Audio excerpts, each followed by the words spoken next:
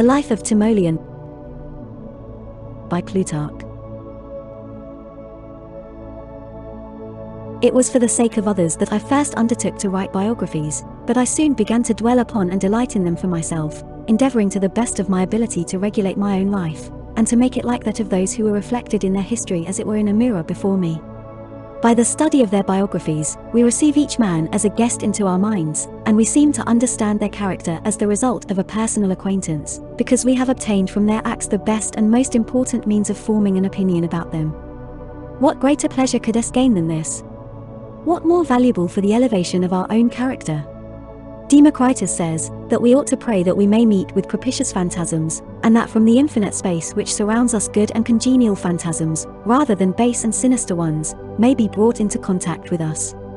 He degrades philosophy by foisting into it a theory which is untrue, and which leads to unbounded superstition, whereas we, by our familiarity with history, and habit of writing it, so train ourselves by constantly receiving into our minds the memorials of the great and good, that should anything base or vicious be placed in our way by the society into which we are necessarily thrown, we reject it and expel it from our thoughts, by fixing them calmly and severely on some of these great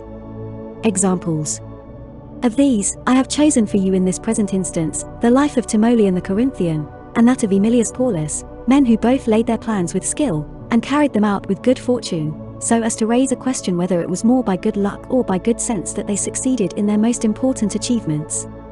The state of affairs at Syracuse, before the mission of Timoleon to Sicily, was this. Dion had driven out the despot Dionysius, but was immediately afterwards slain by treachery, and those who, under Dion, had freed the Syracusans, quarrelled amongst themselves. The city, which received a constant succession of despots, was almost forsaken because of its many troubles. Of the rest of Sicily, one part was rendered quite ruined and uninhabited by the wars, and most of the cities were held by barbarians of various nations, and soldiers who were under no paymaster. As these men willingly lent their aid to effect changes of dynasty, Dionysius, in the twelfth year of his exile, collected a body of foreign troops, drove out Nicias, the then ruler of Syracuse, again restored his empire, and was re-established as despot. He had strangely lost the greatest known empire at the hands of a few men, and more strangely still became again the lord of those who had driven him out, after having been an exile and a beggar. Those then of the Syracusans who remained in the city were the subjects of a despot not naturally humane, and whose heart now had been embittered by misfortune. But the better class of citizens and the men of note fled to Hyketes, the ruler of Leontini, swore allegiance to him, and chose him as their general for the war. This man was nowise better than the avowed despots, but they had no other resource, and they trusted him because he was a Syracusan by birth, and had a force capable of encountering that of their own despot. Meanwhile the Carthaginians came to Sicily with a great fleet, and were hovering off the island watching their opportunity.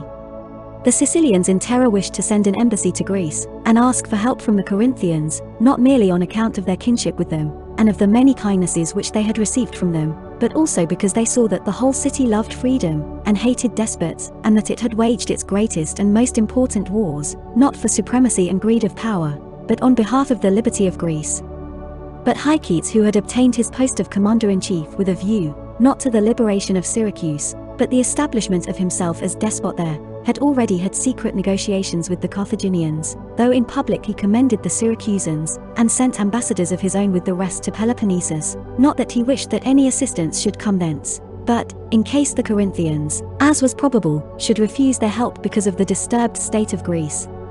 he hoped that he should more easily be able to bring matters round to suit the Carthaginian interest, and to use them as allies either against the Syracusan citizens, or against their despot. Of this treacherous design he was shortly afterwards convicted. When the ambassadors arrived, the Corinthians, who had always been in the habit of watching over the interests of their colonies, especially Syracuse, and who were not at war with any of the Greek states at that time, but living in peace and leisure, eagerly voted to help them. A general was now sought for, and while the government was nominating and proposing those who were eager for an opportunity of distinguishing themselves, a man of the people stood up and named Timoleon, the son of Timodemus, one who no longer took any part in politics, and who had no hope or thought of obtaining the post. But some god, it seems, put it into the man's mind to name him. Such a kind fortune was at once shown at his election, and such success attended his actions, illustrating his noble character. He was of a good family, both his father Timodemus, and his mother Demariste being of rank in the city. He was a lover of his country, and of a mild temper, except only that he had a violent hatred for despotism and all that is base. His nature was so happily constituted, that in his campaigns he showed much judgment when young, and no less daring when old. He had an elder brother, Timophanes, who was in no respect like him, but rash, and inflamed with a passion for monarchy by worthless friends and foreign soldiers, with whom he spent all his time. He was reckless in a campaign, and loved danger for its own sake, and by this he won the hearts of his fellow citizens, and was given commands, as being a man of courage and of action. Timoleon assisted him in obtaining these commands, by concealing his faults or making them appear small, and by magnifying the clever things which he did. Now in the battle which the Corinthians fought against the Argives and Cleonians, Timoleon was ranked among the hoplites, and his brother Timophanes, who was in command of the cavalry, fell into great danger. His horse received a wound, and threw him off among the enemy. Of his companions, some at once dispersed in panic, while those who remained by him, being a few against many, with difficulty held their own. When Timoleon saw what had happened, he ran to the rescue, and held his shield in front of Timophanes as he lay, and, after receiving many blows, both from missiles and in hand-to-hand fight, on his arms and body, with difficulty drove back the enemy and saved his brother. When the Corinthians, fearing lest they might again suffer what they did once before when their own allies took their city, decreed that they would keep 400 mercenary soldiers, they made Timophanes their commander. But he, disdaining truth and honor, immediately took measures to get the city into his own power, and showed his tyrannical disposition by putting to death many of the leading citizens without a trial. Timoleon was grieved at this, and, treating the other's crime as his own misfortune, endeavored to argue with him, and begged him to abandon his foolish and wicked design, and to seek for some means of making amends to his fellow citizens. However, as he rejected his brother's advice, and treated him with contempt, Timoleon took Aeschylus, his kinsman, brother of the wife of Timophanes, and his friend the seer, whom Theopompus calls Satyrus, but Ephorus and Timaeus call Orthagoras, and, after an interval of a few days, again went to his brother, the three men now stood round him, and besought him even now to listen to reason, and repent of his ambition. But as Timophanes at first laughed at them, and then became angry and indignant, Timoleon stepped a little aside, and covering his face, stood weeping, while the other two drew their swords and quickly dispatched him. When this deed was noised abroad, the more generous of the Corinthians praised Timoleon for his abhorrence of wickedness and his greatness of soul, because, though of a kindly disposition, and fond of his own family, he had nevertheless preferred his country to his family, and truth and justice to his own advantage. He had distinguished himself in his country's cause both by saving his brother's life, and by putting him to death when he plotted to reduce her to slavery. However, those who could not endure to live in a democracy, and who were accustomed to look up to those in power, pretended to rejoice in the death of the tyrant, but by their abuse of Timoleon for having done an unholy and impious deed, reduced him to a state of great melancholy. Hearing that his mother took it greatly to heart, and that she used harsh words and invoked terrible curses upon him. He went to her to try to bring her to another state of mind, but she would not endure the sight of him, but shut the door against him.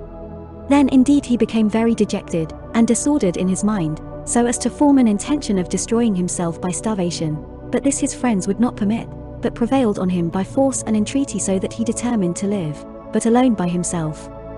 He gave up all interest in public affairs, and at first did not even enter the city, but passed his time wandering in the wildest part of the country in an agony of mind. Thus our judgments, if they do not borrow from reason and philosophy a fixity and steadiness of purpose in their acts, are easily swayed and influenced by the praise or blame of others, which make us distrust our own opinions.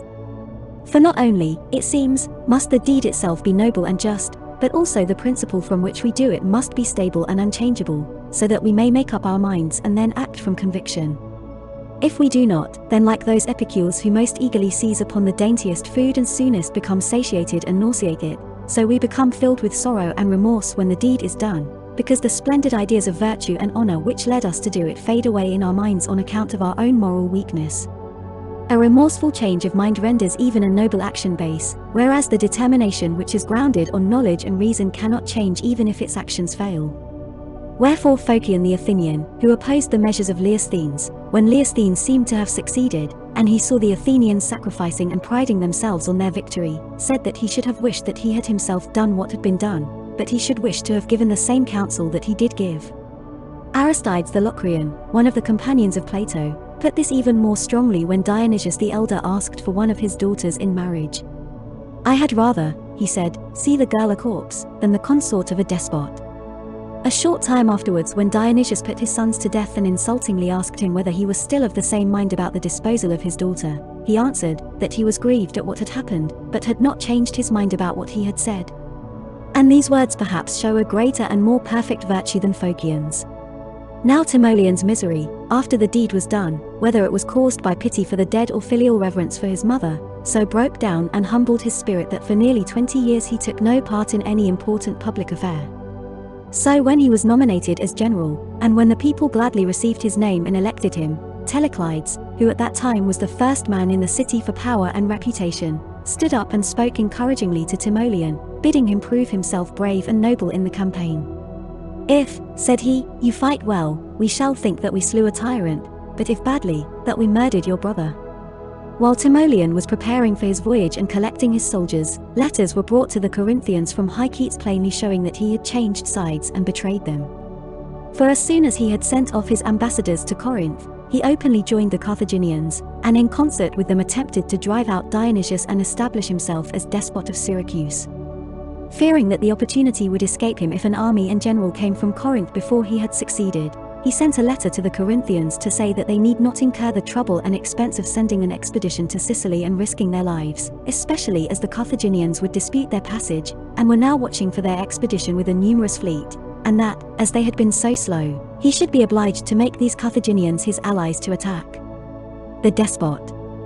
When these letters were read, even if any of the Corinthians had been lukewarm about the expedition, now their anger against Hyketes stirred them up to cooperate vigorously with Timoleon and assist him in equipping his force. 8. When the ships were ready, and everything had been provided for the soldiers, the priestesses of Proserpine had a dream that the two goddesses appeared dressed for a journey, and said that they were going to accompany Timoleon on his voyage to Sicily. Hereupon the Corinthians equipped a sacred trireme, and named it after the two goddesses. Timoleon himself proceeded to Delphi and sacrificed to the god, and when he came into the place where oracles were delivered, a portent occurred to him.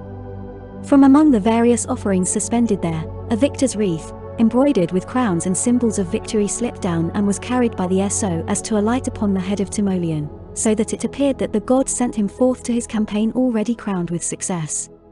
He started with only seven ships from Corinth, two from Corcyra, and one from Leucadia, and as he put to sea at night and was sailing with a fair wind, he suddenly saw the heavens open above his ship and pour down a flood of brilliant light. After this a torchlight that used at the mysteries rose up before them, and, proceeding on the same course, alighted on that part of Italy for which the pilots were steering. The seers explained that this appearance corroborated the dream of the priestesses, and that the light from heaven showed that the two goddesses were joining the expedition, for Sicily is sacred to Proserpine, as the myth tells us that she was carried off there, and that the island itself was given her as a wedding present. The fleet, encouraged by these proofs of divine favor, crossed the open sea and proceeded along the Italian coast. But the news from Sicily gave Timoleon much concern and dispirited his soldiers. For Hyketes had conquered Dionysius and taken the greater part of Syracuse, he had driven him into the citadel and what is called the island, and was besieging and blockading him there, and urging the Carthaginians to take measures to prevent Timoleon from landing in Sicily, in order that, when the Greeks were driven off, he and his new allies might partition the island between themselves. The Carthaginians sent 20 triremes to Rhegium, having on board ambassadors from Hyketes to Timoleon charged with instructions as bad as his deeds. For their proposals were plausible, though their plan was base, being that Timoleon, if he chose, should come as an advisor to Hyketes and partake of his conquests, but that he should send his ships and soldiers back to Corinth, as the war was within a little of being finished, and as the Carthaginians were determined to oppose his passage by force if he attempted it. So the Corinthians, when they reached Rhegium, found these ambassadors, and saw the Carthaginian fleet cruising to intercept them. They were enraged at this treatment, and all were filled with anger against Hyketes, and with fear for the people of Sicily, who, they clearly saw, were to be the prize of the treachery of Hyketes and the ambition of the Carthaginians. Yet it seemed impossible that they should overcome both the fleet of the barbarians which was riding there, double their own in number, and also the forces under Hyketes at Syracuse, of which they had expected to be put in command. Nevertheless Timoleon met the ambassadors and the Carthaginian admirals, and mildly informed them that he would accede to their proposals, for what could he do if he refused them?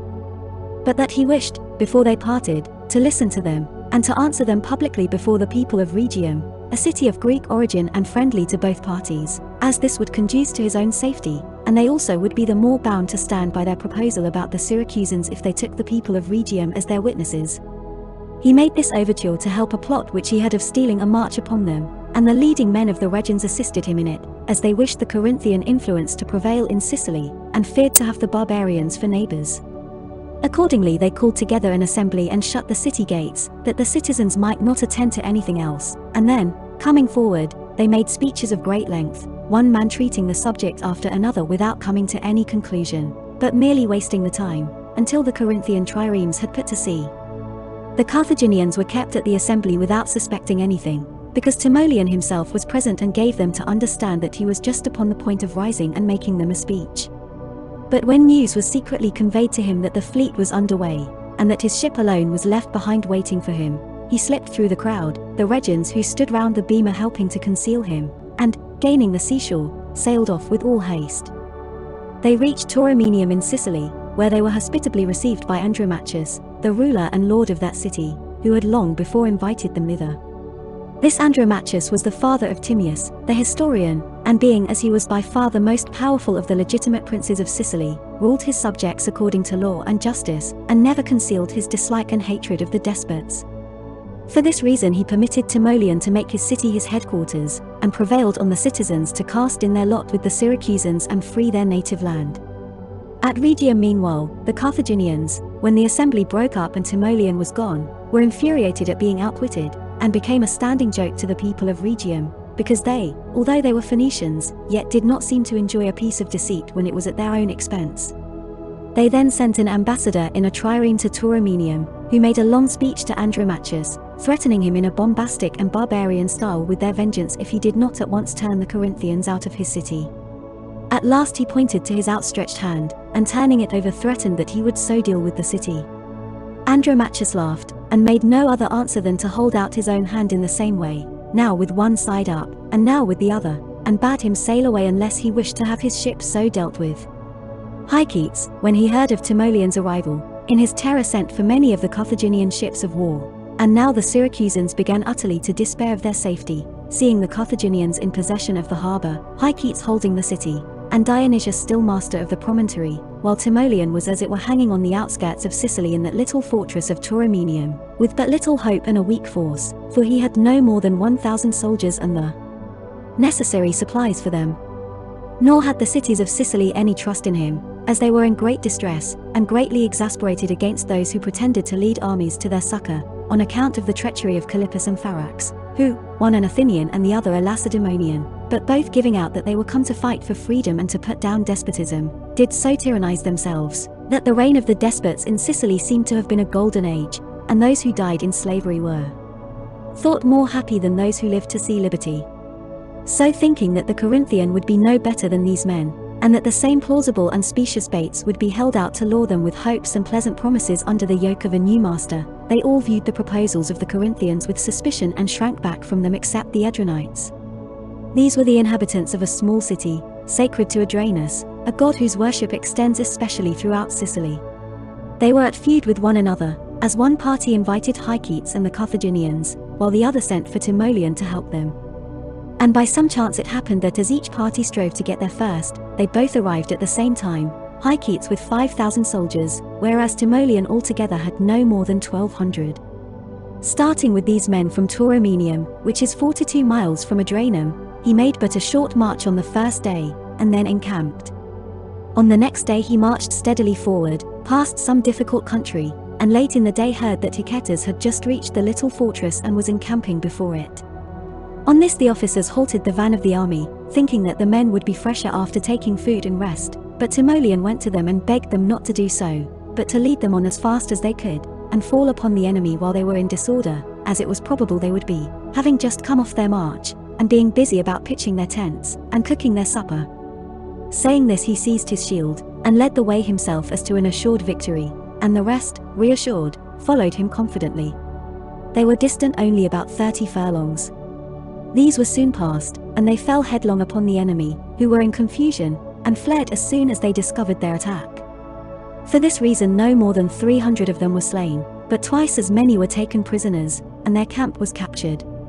The people of Adranum now opened their gates, and made their submission to Timoleon, relating with awe and wonder how, at the outset of the battle, the sacred doors of the temple flew open of their own accord, and the spear of the god was seen to quiver at the point, while his face was covered with a thick sweat. These portents, it seems, did not merely presage the victory, but also the subsequent events, of which this was the prosperous beginning. Immediately several cities sent ambassadors and joined Timoleon, as did also Mamercus the despot of Catana, a man of warlike tastes and great wealth, who made an alliance with him. But the most important thing of all was that Dionysius himself, who had now lost all hope of success, and was on the point of being starved out, despising Hycetes for being so shamefully beaten, but admiring Timoleon, sent to him and offered to deliver up both himself and the citadel to the Corinthians. Timoleon, accepting this unexpected piece of good fortune, sent Euclides and Telemachus, Corinthian officers, into the citadel, and 400 men besides, not altogether nor openly, for that was impossible in the face of the enemy, who were blockading it, but by stealth, and in small bodies. So these soldiers took possession of the citadel, and the palace with all its furniture, and all the military stores. There were a good many horses, and every species of artillery and missile weapon. Also there were arms and armor for 70,000 men, which had been stored up there for a long time, and Dionysius also had 2,000 soldiers, all of whom he handed over to Timoleon with the rest of the fortress, and then, with his money and a few of his friends, he put to sea, and passed unnoticed through Hycetes' cruisers, he proceeded to the camp of Timoleon, appearing for the first time as a private person in great humility, and was sent to Corinth in one ship, and with a small allowance of money. He had been born and bred in the most splendid and greatest of empires, and had reigned over it for ten years, but for twelve more, since the time that Dion attacked him, he had constantly been in troubles and wars, during which all the cruelties which he had exercised on others were more than avenged upon himself by the miserable death of his wife and family, which are more particularly dwelt upon in the life of Dion. Now when Dionysius reached Corinth, there was no one in Greece who did not wish to see him and speak to him. Some, who rejoiced in his misfortunes, came to see him out of hatred, in order to trample on him now that he was down, while others sympathized with him in his change of fortune, reflecting on the inscrutable ways of the gods, and the uncertainty of human affairs. For that age produced nothing in nature or art so remarkable as that change of fortune which showed the man, who not long before had been supreme ruler of Sicily, now dining at Corinth at the cook's shop, lounging at the perfumer's, drinking at the taverns, instructing female singers, and carefully arguing with them about their songs in the theatre, and about the laws of music. Some thought that Dionysius acted thus from folly, an indolent love of pleasure, but others considered that it was in order that he might be looked down upon, and not be an object of terror or suspicion to the Corinthians, as he would have been if they thought that he ill-brooked his reverse of fortune, and still nourished ambitious designs, and that his foolish and licentious mode of life was thus to be accounted for. But for all that, certain of his sayings are remembered, which sufficiently prove that he showed real greatness of mind in adapting himself to his altered circumstances. When he arrived at Leucas, which, like Syracuse, was a Corinthian colony, he said that he was like a young man who has got into disgrace. They associate gaily with their brothers, but are ashamed to meet their fathers, and avoid them, and so he was ashamed to go to the parent city, but would gladly live there with them. Another time in Corinth, when some stranger coarsely jeered at the philosophic studies in which he used to delight when in power, and at last asked him what good he had obtained from the wisdom of Plato, Do you think, answered he, that I have gained nothing from Plato, when I bear my reverse of fortune as I do? When Aristoxenus, the musician, and some others asked him what fault he had found with Plato, and why, he answered that absolute power, amongst its many evils, was especially unfortunate in this, that none of a despot's so-called friends dare to speak their mind openly. And he himself, he said, had been by such men deprived of the friendship of Plato. A man, who thought himself witty, once tried to make a joke of Dionysius by shaking out his cloak, when he came into his presence, as is the custom before despots, to show that one has no concealed weapons, but he repaid the jest by begging him to do it when he left him, that he might be sure that he had not stolen any of his property. Philip of Macedon once, when they were drinking together, made some sneering remark about the poetry and tragedies which Dionysius the elder had written, pretending to be at a loss to know how he found time for such pursuits, but Dionysius cleverly answered, he wrote them during the time which you and I, and all who are thought such lucky fellows, spend over our wine. Plato never saw Dionysius at Corinth, for he was dead at that time, but Diogenes of Sinope, when he first met him, said, How unworthily you live, Dionysius. Dionysius answered him, Thank you, Diogenes, for sympathizing with my misfortunes. Why, said Diogenes, do you suppose that I sympathize with you, and am not rather grieved that a slave like you, a man fit, like your father, to grow old and die on a miserable throne, should be living in luxury and enjoyment amongst us? So, when I compare with these sayings of his the lamentations which Philistus pours forth over the daughters of Leptines, that they had fallen from the glories of sovereign power into a humble station, they seem to me like the complainings of a woman who has lost her perfumes, her purple dresses, or her jewels. These details, I think, for readers who are at leisure, are not foreign to the design of biography, and not without value. If the fall of Dionysius seems strange, the good fortune of Timoleon was no less wonderful. Within 50 days of his landing in Sicily, he was master of the citadel of Syracuse, and sent back Dionysius to Peloponnesus. Encouraged by his success, the Corinthians sent him a reinforcement of 2,000 hoplites and 200 horse. These men reached Thurii, but they found it impossible to cross over into Sicily, as the Carthaginians held the sea with a great fleet. As it was necessary for them to remain there for a time, they made use of their leisure to perform a most excellent action, for the Thurians made an expedition against the Brutii, and meanwhile these men took charge of their city, and guarded it carefully and trustily as if it had been their own. Hyketes meanwhile was besieging the citadel of Syracuse, and preventing corn from being brought by sea to the Corinthians. He also obtained two strangers, whom he sent to assassinate Timoleon, who, trusting in the favor shown him by the gods, was living carelessly and unsuspectingly among the people of Adranum. These men, hearing that he was about to offer sacrifice, came into the temple with daggers under their cloaks, and mingling with the crowd round the altar, kept edging towards him. They were just on the point of arranging their attack, when a man struck one of them on the head with his sword, and he fell. Neither the assailant nor the accomplice of the fallen man stood his ground, but the one with his sword still in his hand ran and took refuge on a high rock, while the other laid hold of the altar, and begged for pardon at Timoleon's hands if he revealed the whole plot. When assured of his safety he confessed that he and the man who had been killed had been sent thither to assassinate Timoleon. Meanwhile others brought back the man from the rock, who loudly declared that he had done no wrong, but had justly slain him in vengeance for his father, whom this wretch had killed at Leontini. Several of those present bore witness to the truth of his story, and they marveled much at the ways of fortune, how she makes the most incongruous elements work together to accomplish her purposes. The Corinthians honored the man with a present of ten minae, because he had cooperated with the guardian angel of Timoleon, and had put off the satisfaction of his private wrong until a time when it saved the life of the general. This good fortune excited men's feelings so that they guarded and reverenced Timoleon as a sacred person sent by heaven to restore the liberties of Sicily. When Hyketes failed in this attempt on Timoleon, and saw that many were joining him, he began to blame himself for only using the great Carthaginian force that was present by stealth, and as if he was ashamed of it, concealing his alliance and using them clandestinely, and he sent for Mago, their general, to come with all the force at his disposal. He sailed in with a formidable fleet of 150 ships, and took possession of the harbour, disembarked 60,000 troops, and encamped with them in the city of Syracuse, so that all men thought that the long talked of and expected subjugation of Sicily to the barbarian was imminent. For the Carthaginians during their endless wars in Sicily had never before taken Syracuse, but now, by the invitation of the traitor Hyketes, the city was turned into a barbarian camp.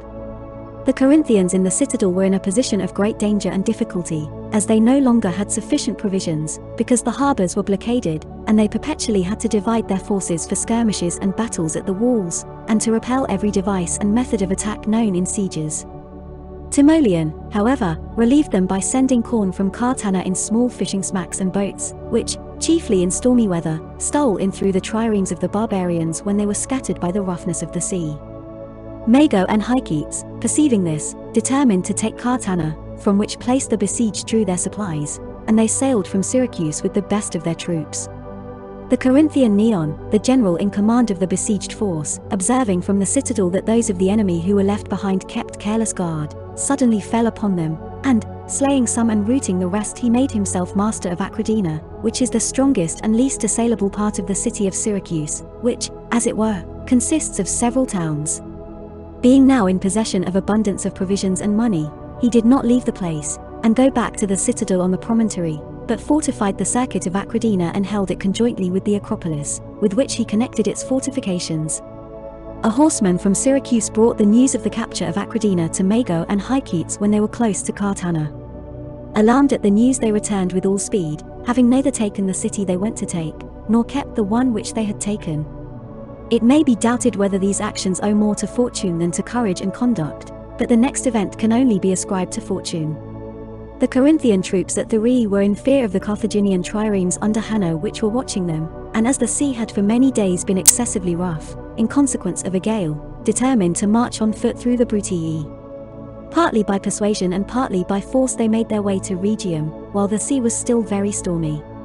The Carthaginian admiral, who no longer expected the Corinthians, and thought that he was waiting there to no purpose, persuaded himself that he had invented a masterpiece of deceit. He ordered his sailors to crown themselves with garlands, decked out his triremes with Greek shields and wreaths of palm, and set out for Syracuse. As he passed the citadel they cheered loudly, and with uproarious merriment called out to the garrison that they had come back after a complete victory over the Corinthians, hoping by this means to dispirit the besieged. But while he was playing these silly tricks the Corinthians had reached Rhegium, and as no one disputed their passage, and the cessation of the gale had made the strait singularly smooth and calm, they embarked in the passage boats and what fishing smacks were to be found, and crossed over into Sicily, so easily and in such calm weather that they were able to make their horses swim alongside of the vessels and tow them by their halters. As soon as they had crossed, Timoleon met them, and at once obtained possession of Messina, and, after reviewing them, marched on Syracuse at once, confiding more in his good fortune and his former successes than in the number of his troops, which amounted to no more than 4,000. When Mago heard of this march, he was much disquieted, and his suspicions of his allies were increased by the following circumstance. In the marshes round the city, into which runs much fresh water from springs and rivers which find their way into the sea, there was a great quantity of eels, which afforded plenty of sport for those who cared to fish for them, and the mercenary soldiers on both sides used to meet and fish whenever there was a cessation of hostilities. As they were all Greeks, and had no private grounds for hatred, they would cheerfully risk their lives in battle against each other, but during times of truce they conversed freely. So then, while engaged in fishing, they talked to one another, and admired the beauty of the sea, and the fine situation of the city. Then one of the Corinthian garrison said, Can it be that you, Greeks as you are, should be endeavoring to betray to the barbarians so great and beautiful a city as this, and that you should be trying to establish these base and cruel Carthaginians nearer to our country? Rather ought you to wish that there were more Sicilies to act as bulwarks of Greece. Do you suppose that these men have gathered together their host from the pillars of Heracles and the Atlantic coast, and risked their lives at sea, merely to support the dynasty of Hyketes? He, if he had the spirit of a real prince, never would have turned out his brethren, and invited the enemy into his native land, but would have made terms with Timoleon and the Corinthians, and been honored accordingly. These words were noised abroad in the camp by the mercenaries, and gave Mago the pretext which he had long been waiting for, to abandon their cause on the plea of suspecting their fidelity. Wherefore, although Hyketes begged him to remain, and pointed out how far superior he was to the enemy, yet he, thinking that Timoleon's army surpassed his in courage and good fortune as much as his did in numbers, weighed anchor at once and sailed to Africa, letting Sicily slip through his fingers, to his great disgrace, for no assignable reason. On the next day appeared Timoleon with his troops in battle array. As soon as they learned their departure, and saw the harbour, they proceeded to mock at the cowardice of Mago, and they sent a cry around the city offering a reward to anyone who would tell them to what place the Carthaginian force had run away. Nevertheless, Hyketes still showed a bold front, and did not relax his hold on the city, and, as the part which was in his possession was strong and hard of access, Timoleon divided his army, and himself led the assault on the most difficult side of the position, by the river Anapus, ordering another body, under Isias the Corinthian, to attack from Acradina. A third corps, consisting of the newly arrived reinforcement under Dinarchus and Demaritus were to attack Epipolae. The assault took place simultaneously on all sides. The speedy rout of Hyketes and capture of the city may be justly ascribed to the skill of the general, but the fact that not one of the Corinthians was killed or wounded is due to Timoleon's good fortune, which seemed to vie with his courage and try to make those who read of his exploits wonder at their good luck more than their merit. In a few days not only was all Sicily and Italy ringing with his fame, but throughout Greece his great successes were known, and the city of Corinth, which scarcely thought that the expedition had reached Sicily, heard at the same time that the troops were safe and victorious, so prosperously did affairs turn out, and with such speed did fortune publish the glory of his deeds. Timoleon, having thus gained possession of the fortified citadel on the promontory, did not fall into the same snare as Dion, and was not moved to spare the place for the sake of its beautiful and costly architecture. Dion's jealousy of the people led him to distrust them, and proved his ruin, but Timoleon took a very different course. He made proclamation that any Syracusan who chose might come with a crowbar and take part in the destruction of the despot's castle. When they had all assembled, in order to mark that day and that proclamation as the real beginning of liberty, they not only destroyed and subverted the castle, but also the houses and tombs of the despots. Timoleon at once had the place leveled, and built upon it courts of justice, delighting the citizens by substituting a republic for a tyranny. Having taken the city, he was now at a loss for citizens, for some had been killed in the wars and revolutions, and some had gone into exile to avoid the despots, so that the marketplace of Syracuse was overrun with herbage so deep and thick that horses were pastured on it, while the grooms lay on the grass near them. The other cities, except a very few, had become the haunts of deer and wild boars, and persons at leisure used to hunt them with dogs in the suburbs and round the walls. None of those who had taken refuge in the various forts and castles would return to the city, as they all felt a dread and hatred of public assemblies and politics, which had produced the greater part of the tyrants under whom they had suffered. In this difficulty it occurred to Timoleon and the Syracusans to apply to the Corinthians, and ask them to send out fresh colonists from Greece. Otherwise, they said, the land must lie uncultivated, and, above all, they were looking forward to a great war with Africa, as they heard that on Mago's return the Carthaginians were so enraged at his failure, that, though he committed suicide to avoid a worse fate, they had crucified his dead body, and were collecting a great force, meaning next summer to invade Sicily. When these letters from Timoleon reached them, together with ambassadors from the Syracusans, who besought them to take upon them the care of this their poor city, and once again become the founders of it, the Corinthians were not tempted by greed to take unfair advantages and seize the city for themselves, but first sent heralds to all the games held in honor of the gods throughout Greece, and to all places where people assembled, to proclaim that the Corinthians, having abolished despotism,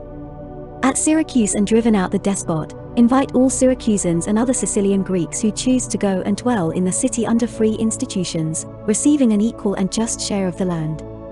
Next they sent messengers to Asia Minor and the islands, wherever they heard that most of the scattered bands of exiles had settled, and invited them all to come to Corinth, as the Corinthians would at their own expense furnish them with vessels and commanders and a safe convoy to Syracuse.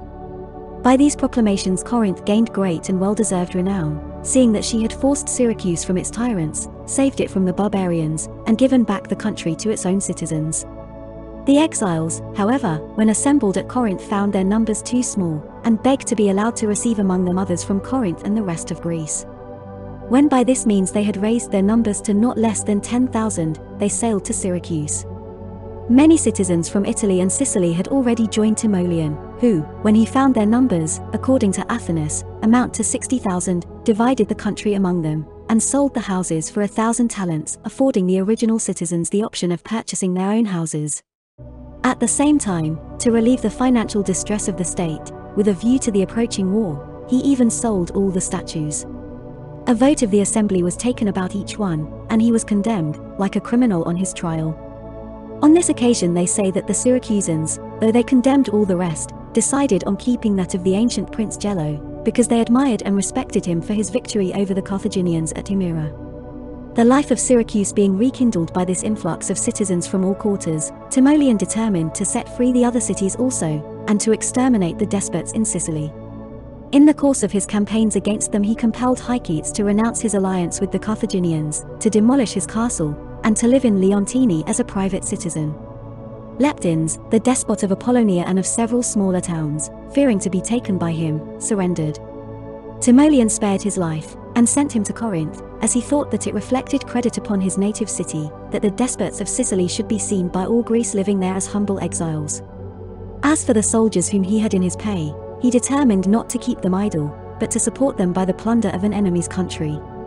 So while he himself returned to Syracuse, to superintend the reconstruction of the constitution, and to assist the lawgivers Cephalus and Dionysius in framing the best form of polity, he sent the troops under Dinarchus and Demaritus to subdue the western portion of the island, which had fallen into the hands of the Carthaginians.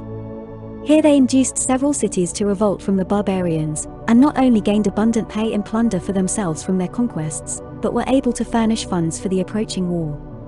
During this time the Carthaginian forces sailed to Lilybaeum with 70,000 men, 200 ships of war, and a thousand transports carrying engines of war, for horse chariots, provisions, and other war material, as they meant no longer to use half measures, but at one swoop to drive the Greeks out of Sicily.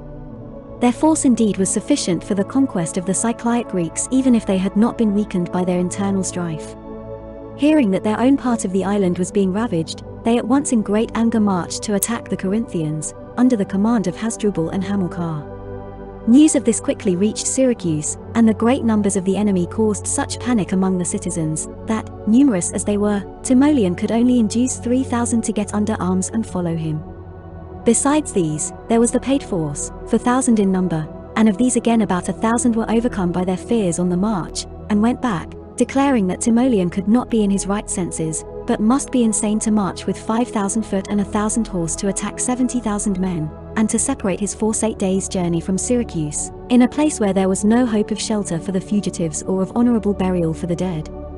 Timoleon treated it as an advantage that these men disclosed their cowardice before the day of battle. He encouraged the rest, and led them with all haste to the river Chromesus, where he heard that the Carthaginians were concentrating. As he was mounting a hill, beyond which he expected to see the camp and army of the enemy, there met him some mules loaded with parsley.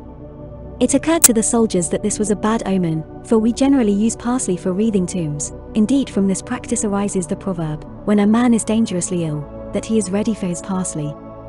Wishing to rid them from this superstition and to stop their fears, Timoleon halted them, and made a suitable speech, pointing out that their crown of victory had come of its own accord into their hands before the battle, for this is the hat with which the Corinthians crown the victors at the Isthmian Games, accounting it sacred and peculiar to their own country. For then parsley was used for the crown at the Isthmian Games, as it is even to this day at those of Nemea, and the pine has only been lately introduced. So Timoleon, having addressed his soldiers, as has been said, first crowned himself with the parsley, and then his officers and men did so likewise. But the prophets perceiving two eagles flying towards them, one of whom carried a snake in its talons, while the other flew along with loud and inspiriting cries, pointed them out to the soldiers, who all began to pray and invoke the gods. The time of year was the beginning of summer, near the solstice at the end of the month Thargelion. A thick mist rose from the river, and all the plain was concealed in fog, so that nothing could be seen of the enemy, but only a confused murmur from the movement of that great host reached the hill. The Corinthians, when they had reached the summit, paused and piled their arms. Now the sun shone out, and the mist rose from the valley. Gathering together, it hung in clouds about the hilltops, while below, the river Chromesus appeared, with the enemy crossing it. First went the four horse chariots in terrible pomp, all drawn up in battle array, while next to them followed 10,000 hoplites with white shields. These they conjectured to be native Carthaginians by the splendor of their equipments and their slow and orderly march. Following these came the other nations, turbulently and confusedly struggling across. Timoleon, seeing that the river kept off the mass of the enemy, and allowed them to fight with just so many as they chose, pointed out to his soldiers how the enemy's array was broken by the stream, some having crossed, and some being still crossing. He ordered Demaritus to take the cavalry and charge the Carthaginians, to prevent their having time to form in order of battle. But he himself marched down to the plain, having drawn up his force with the other Sicilian Greeks and a few strangers on each of the wings, but with his Syracusans and the best of the paid force under his own command in the center. For a short time he held back, watching the effect of the cavalry charge, but seeing that they were unable to come to blows with the Carthaginians because of the chariots which careered about in front of their ranks, and that they constantly had to fall back to avoid their array being broken, and then to make short rushes as occasion served, he himself took his shield, and called to the infantry to follow him and be of good cheer. It seemed to them that his voice was more than man's, and louder than was his wont, either from their faculties being strained by the excitement of the contest, or else because, as most of them believed, some god shouted with him. Quickly they raised their war cry in answer, and begged him to lead them on and wait no longer. Ordering the cavalry to ride round the line of chariots and attack the infantry in flank, he closed up the foremost ranks, and with the trumpet sounding the charge, attacked the Carthaginians. They manfully encountered his first assault, and being armed with iron cuirasses and brass helmets, and protected with large shields, they were able to withstand the thrust of the Greek spears.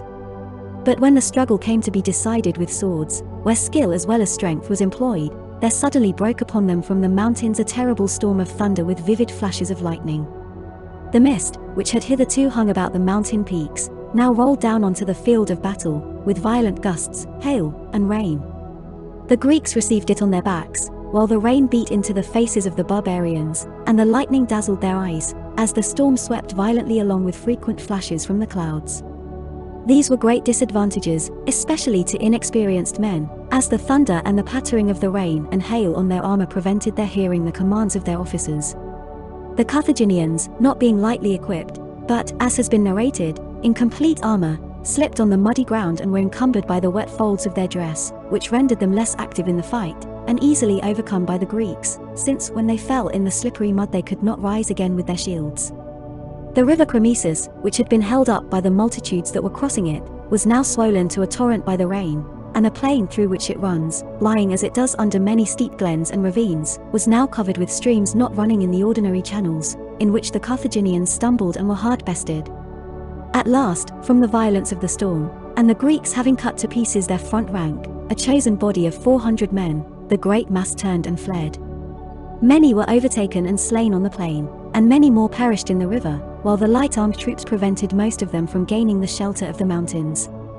It was said that among the myriads of slain there were 3,000 citizens of Carthage a great loss and grief to that city, for they belonged to the noblest and richest classes, nor do we ever hear of so many native Carthaginians having perished in any one battle before this, as they generally make use of Libyan, Spanish and Numidian troops, so that in case of defeat the loss falls upon other nations.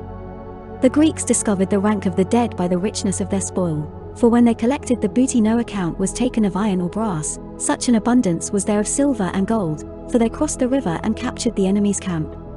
Of the captives, the greater part was stolen by the soldiers, and sold privately, but a body of 5,000 was brought into the common stock. 200 chariots also were taken. The most glorious and magnificent spectacle of all was the tent of Timoleon, round which booty of every kind was piled up in heaps, among which were a thousand corslets of exquisite workmanship, and 10,000 shields. As they were but few to gather the plunder of so many, and as they fell in with such riches, it was only on the third day that they managed to erect a trophy of their victory. Together with the dispatch announcing his success, Timoleon sent home to Corinth the finest of the arms and armor, desiring to make his country envied by all men, when they should see, in that alone of all Greek cities, that the most important shrines were not adorned with Grecian spoils, nor with offerings obtained by the slaughter of men of their own race and blood, dismal memorials at best, but with spoils of the barbarian, whose inscriptions bore noble testimony to the justice, as well as the courage of the victors, telling how the Corinthians and their general, Timoleon, having freed the Greeks who dwell in Sicily from the yoke of Carthage, set up these thank offerings to the gods. After the victory he left the paid force in the enemy's country, to ravage and plunder the Carthaginian dominions, and himself proceeded to Syracuse. He now ordered out of the island those mercenary troops by whom he had been deserted before the battle, and even forced them to quit Sicily before sunset. These men crossed into Italy and perished there at the hands of the Bruttians, who broke their word to them and betrayed them. This was the penalty which heaven imposed on them for their desertion. But Mamercus, the despot of Catana, and Hyketes, either through disgust at Timoleon's successes, or else fearing him as a man not likely to keep faith with despots, made an alliance with Carthage, as they said that the Carthaginians, unless they wished to be utterly driven out of Sicily, must send a competent force and a general.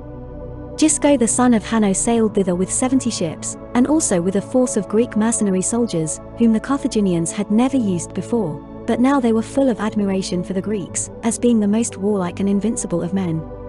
Having effected a junction of their forces in the territory of Messina, they cut to pieces a body of 400 foreign soldiers whom Timoleon sent against them, and in the Carthaginian dominion they laid an ambush near the place called Hyati, and cut off the hired troops of Euthymus the Leucadian.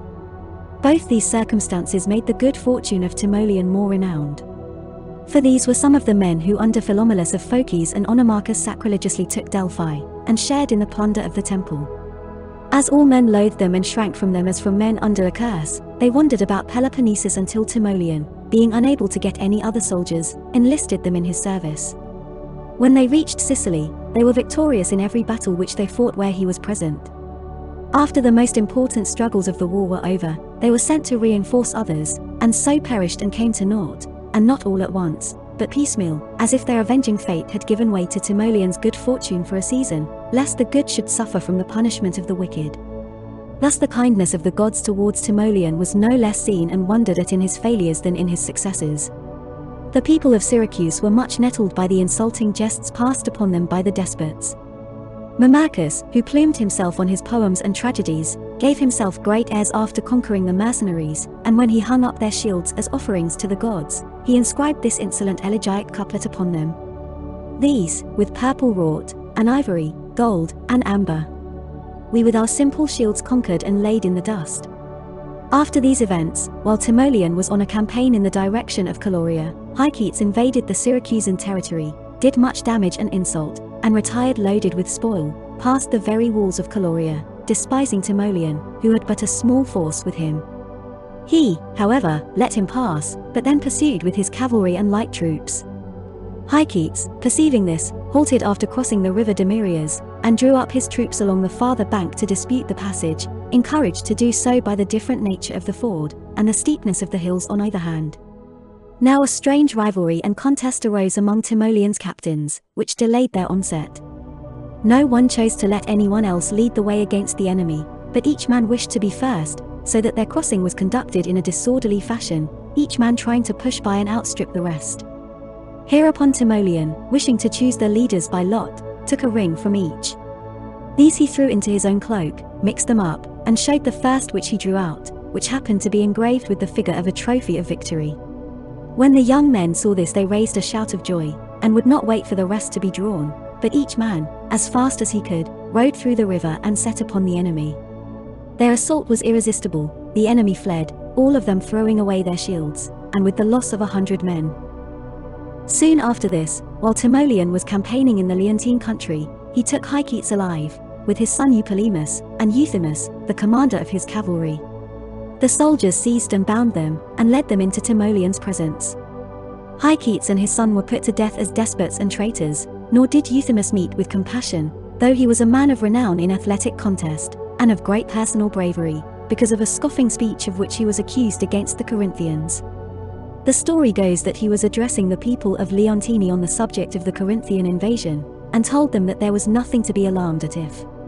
Corinthian ladies have come out from home. Thus it is that most people seem to suffer more from hard words than hard deeds, and are more excited by insult than by actual hurt. What we do to our enemies in war is done of necessity, but the evil we say of them seems to spring from an excess of spite. On Timoleon's return the Syracusans brought the family and daughters of Hyketes before the public assembly for trial, and condemned them to death. And this, methinks, is the most heartless of Timoleon's actions, that for want of a word from him these poor creatures should have perished. He seems not to have interfered, and to have let the people give full vent to their desire to avenge Dion, who dethroned Dionysius. For Hyketes was the man who threw Dion's wife Arete alive into the sea, with her sister Aristomache and her little son, as is told in the life of Dion. After this he marched against Mamercus at Catana. He beat him in a pitched battle near the river Abylus, routing him with a loss of 2,000 men, no small part of whom belonged to the Phoenician contingent under Gisco. Hereupon, at the request of the Carthaginians, he made peace, stipulating that they should hold the country beyond the river Lycus, and that those who wished should be allowed to have it and go to reside at Syracuse, with their families and property, and also that they should give up their alliance with the despots. In despair at this Mamercus sailed to Italy, to try to bring the Lucanians against Timoleon and the Syracusans, but he was deserted by his followers, who turned their ships back, sailed to Syracuse, and surrendered Catana to Timoleon. Mamercus now was forced to take refuge in Messina with Hippo, the despot there. But Timoleon came and besieged it both by sea and land. Hippo endeavored to escape on a ship, and was taken. The people of Messina, to whom he was delivered up, brought every one, even the boys from school, into the theatre, to witness that most salutary spectacle, a tyrant meeting with his deserts. He was put to death with torture, but Mamercus surrendered himself to Timoleon on condition that he should have a fair trial before the people of Syracuse, and that Timoleon should say nothing against him. When he was brought to Syracuse he was brought before the people, and tried to deliver a long premeditated speech to them, but meeting with interruptions and seeing that the assembly was inexorable he flung away his cloak and rushed across the theatre, striking his head against a stone step with the intention of killing himself. However he failed, and paid the penalty of his crimes by suffering the death of a pirate. In this fashion the despotisms were put down by Timoleon, and the wars finished. The whole island, which had become a mere wilderness through the constant wars, and was grown hateful to the very natives, under his administration became so civilized and desirable a country that colonists sailed to it from those very places to which its own citizens had formerly betaken themselves to escape from it. For and Gela, large cities, which after the war with Athens had been destroyed by the Carthaginians, were now repeopled, the former colonists led by Megellus and Phoristus, from Elea on the south coast of Italy, and the latter by a party led by Gorgas, who sailed from Chios and collected together the former citizens.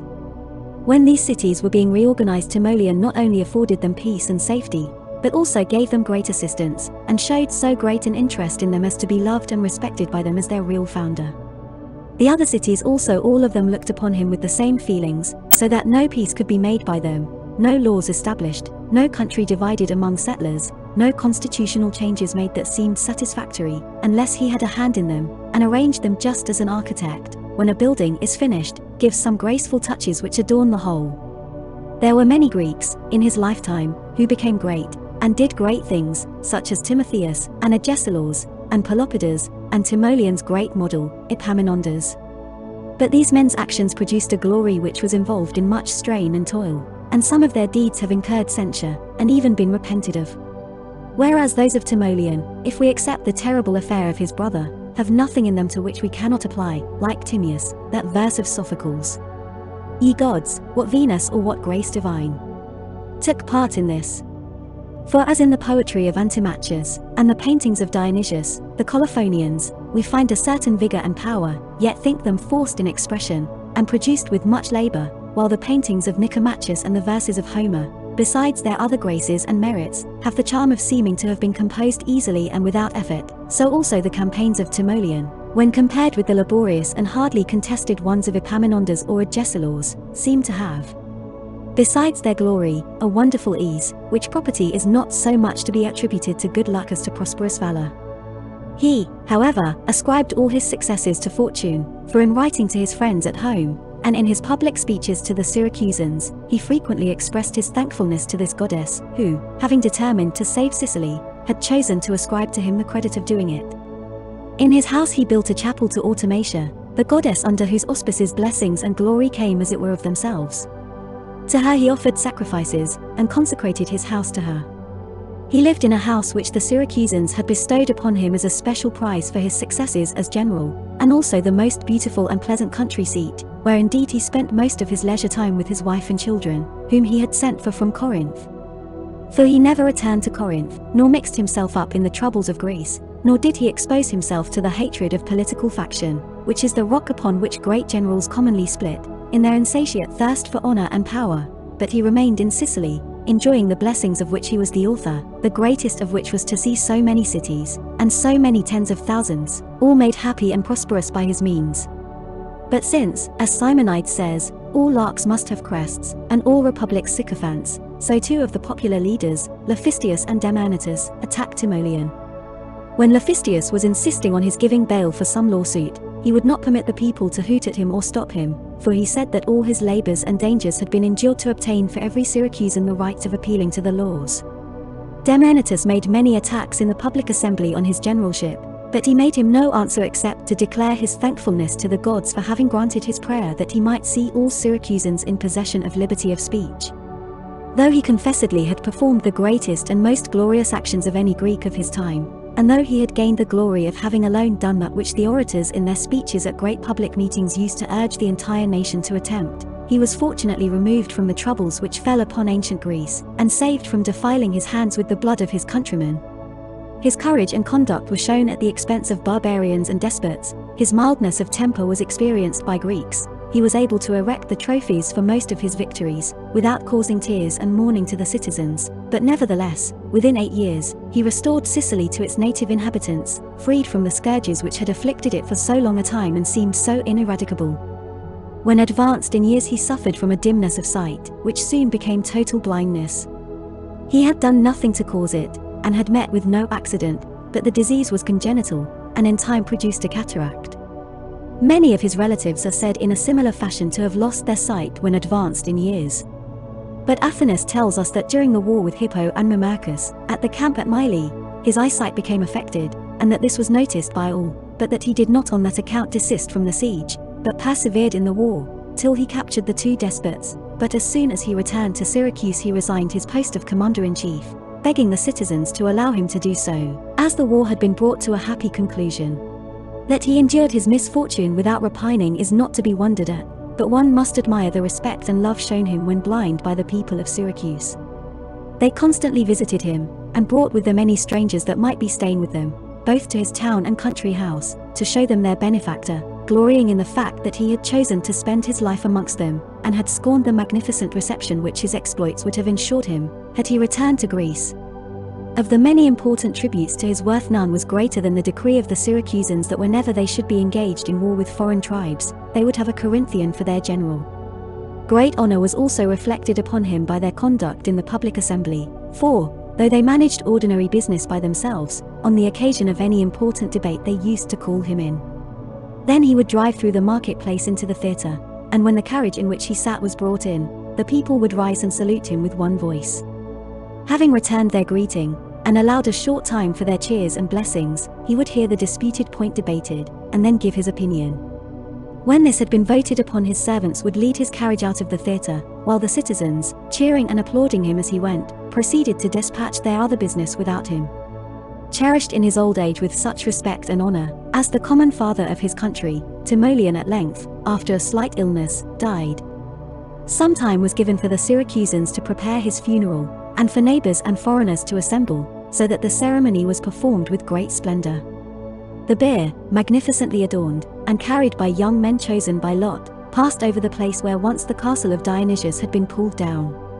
The procession was joined by tens of thousands of men and women, whose appearance was gay enough for a festival, for they all wore garlands and white robes. Their lamentations and tears mingled with their praises of the deceased showed that they were not performing this as a matter of mere outward respect and compliance with a decree, but that they expressed real sorrow and loving gratitude. At last, when the bier was placed upon the pyre, Demetrius, the loudest voiced of the heralds at that time, read aloud the following. The Syracusan people solemnize, at the cost of 200 minae, the funeral of this man, the Corinthian Timoleon, son of Timodemus. They have passed a vote to honor him for all future time with festival matches in music, horse and chariot races, and gymnastics, because, after having put down the despots, subdued the foreign enemy, and recolonized the greatest among the ruined cities, he restored to the Sicilian Greeks their constitution and laws. They buried him in the marketplace, and afterwards surrounded the spot with a colonnade, and built a palaestra in it for the young men to practice in, and called it the Timoleontium, and, living under the constitution and laws which he established, they passed many years in prosperity.